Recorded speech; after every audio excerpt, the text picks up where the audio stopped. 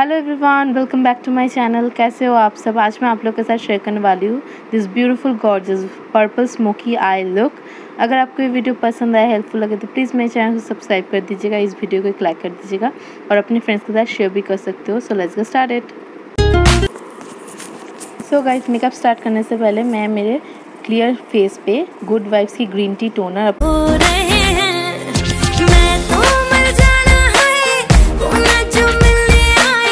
उसके बाद मॉइस्चराइज़र के लिए मैं यूज़ कर रही हूँ प्लाम की ग्रीन टी मैडिफाइंग मॉइस्चराइज़र क्योंकि अभी समर है तो मेरी कॉम्बिनेशन स्किन है तो इसलिए मैं मैट मॉइस्चराइज़र अप्लाई करती हूँ, उससे मेरी स्किन जो है ऑयली नहीं लगती और मेरा मेकअप जो है बहुत ही अच्छा दिखता है। तो प्राइमर के लिए मैं अप्लाई कर रही हूँ शुगर की प्राइमर पोर मिनिमाइजिंग प्राइमर है ये।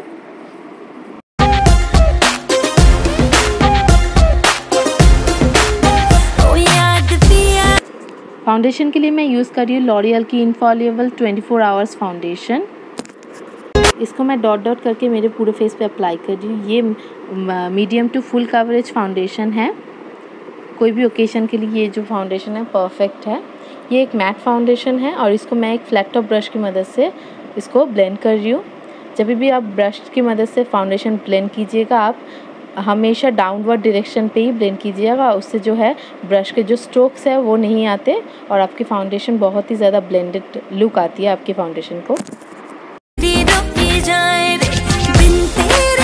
कंसीलर के लिए मैं यूज़ कर रही हूँ वेट एंड वाइल्ड की photo focus concealer in the shade light to medium beige इसको मैं अंडर आइज़ एरिया पे bridge of the nose forehead पे, मेरे लिप्स के कॉर्नर पे चीन पे अप्लाई कर रही हूँ और इसको फिंगर की मदद से ब्लेंड कर रही हूँ।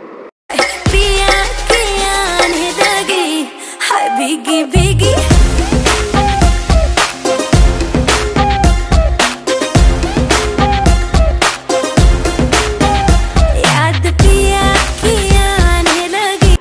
क्रीम कॉन्टोर करने वाली हूँ तो इसलिए मैं एन वाई बे की क्रीम कॉन्टोर स्टिक ले रही हूँ। इसको मैं मेरे चीक्स पे नोज़ पे फॉरहेड पे जॉ लाइन पे अप्लाई कर रही हूँ। और इसको मैं अभी फिंगर की मदद से ब्लेंड कर दूँगी। आप इस स्टेप को स्किप भी कर सकते हो। पाउडर ब्रॉन्ज़र या फिर पाउडर कॉन्टोर भी आप अप्लाई कर सकते हो। मुझे क्रीम कॉन्टोर पसंद है, इसलिए मैंने क्रीम कॉन्टोर किया है। अगर समर्स में आप क्रीम कॉन्टोर जो है, थोड़ा अवॉइड ही कीजिएगा।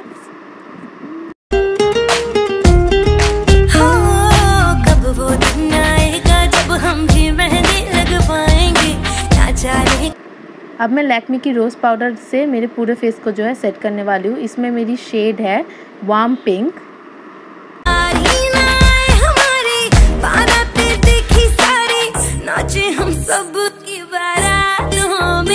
याद पिया मेरे पिया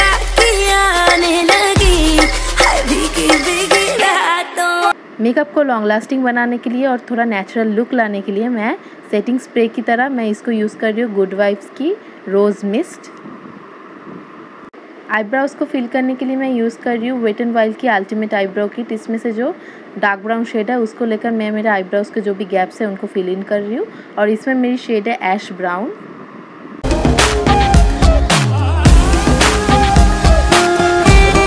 आई के लिए मैं ले रही हूँ ब्यूटी ग्लेस की कलर स्टूडियो पैलेट।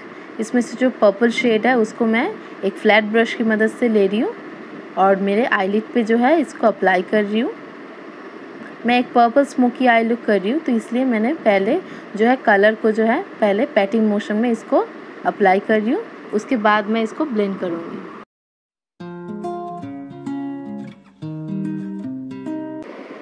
तो इस पैलेट में से अभी मैं एक लाइट पिंक शेड ले रही हूँ। उसकी मदद से मैं जो पर्पल की जो एजेस है, जो पर्पल कलर की एजेस है और क्रीज में एक फ्लफी ब्लेंडिंग ब्रश की मदद से अप्लाई करूँगी और ब्लेंड करूँगी, जिससे एक ब्लेंडेड लुक आए। आप देख पा रहे हो मेरे right eye and left eye में कि ब्लेंड करने के बाद इसका लुक जो है कितना अच्छा आ रहा है और ब्लेंड नहीं किया तो मैंने कैसा लग रहा है। तो ब्लेंड बहुत ही धीरे से टाइम टेकिंग प्रोसेस है, बहुत ही अच्छे से, धीरे से इसको अच्छे से ब्लेंड कीजिए तो अच्छा लुक आएगा।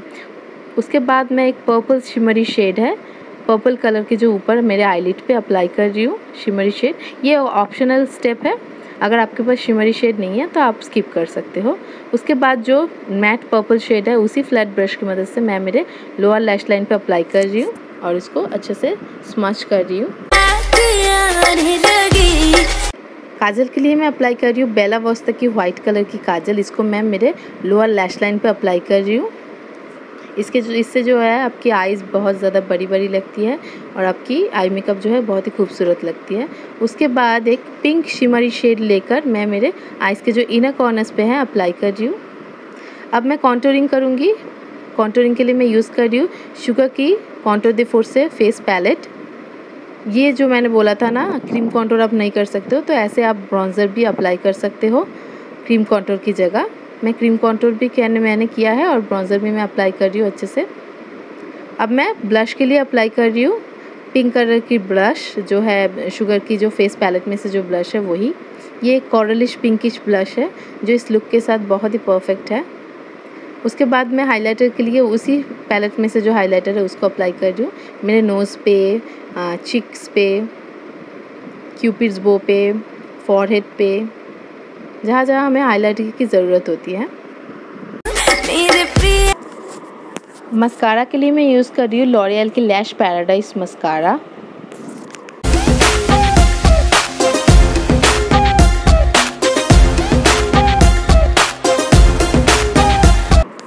So guys lipstick के लिए मैं यूज़ कर रही हूँ एन वाई बे की liquid lipstick in the shade Chelsea gallery ये एक ब्यूटीफुल पिंकिश न्यूट शेड है, जो इस लुक के साथ परफेक्ट था।